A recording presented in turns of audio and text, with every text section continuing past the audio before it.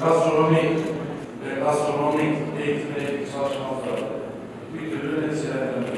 Tam kültüründen bahsediyoruz. Urfa zaten başlı başına kendi ismiyle marka, insanıyla marka.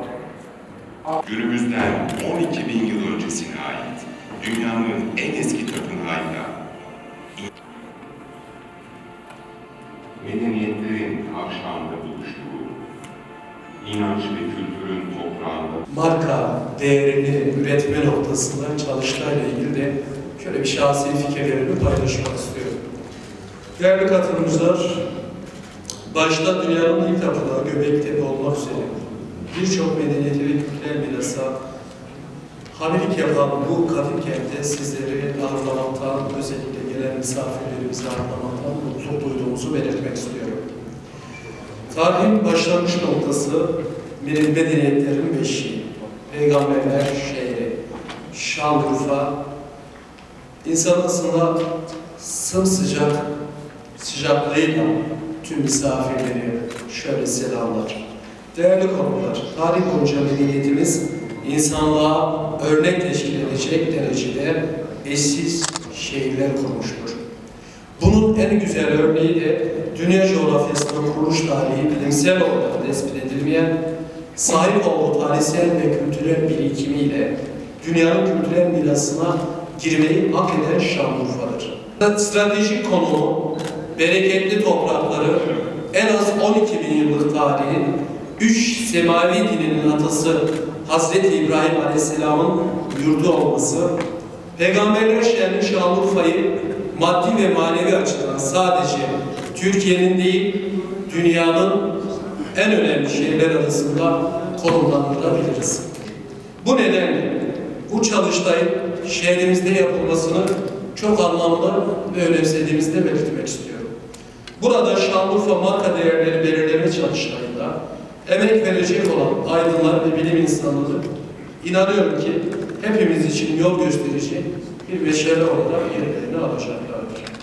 Kentimizin gelişmesi, modern ve güzel yapılara kavuşması için valiliğimizde, üniversitemizde, sivil toplum örgütlerimizde, kanat önderlerimizde ve hepsinden öte bu şah, bu şehrin en önemli parçası olan Aziz hemşehrilerimizde, hemşehrilerimizde karşılıklı hem projeler geliştiriyoruz hem istişarelerde bulunuyoruz.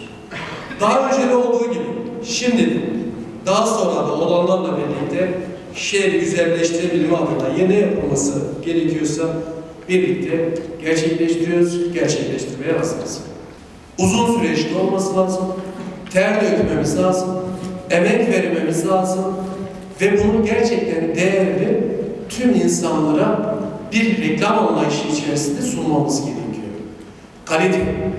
Kalitesiz hiçbir marka ortaya çıkmaz. Değer ortaya çıkar. Bugün ve yarın çalıştay değerleri ortaya çıkaracak.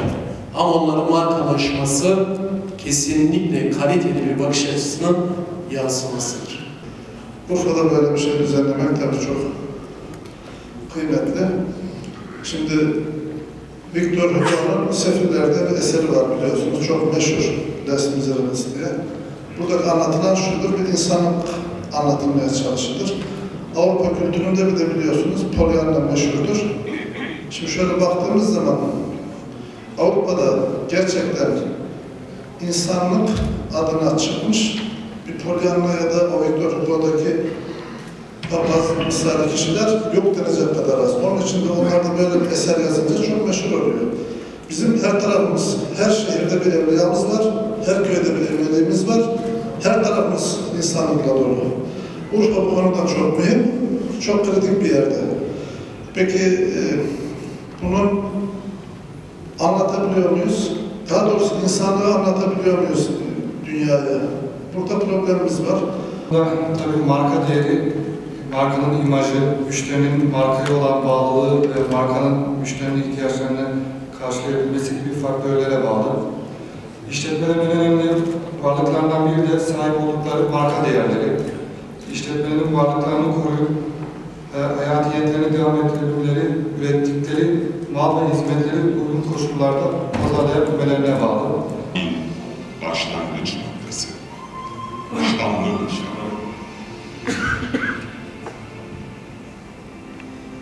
medeniyetlere ışık tutan geçmişiyle, üç semavi dinin atası olarak kabul edilen Hazreti İbrahim'in doğduğu toprakların verdiği Harran Ovası'nda filizlenen Bugünkü bu çalıştayın konusu bir, bir arama konferansı içinde buradayız.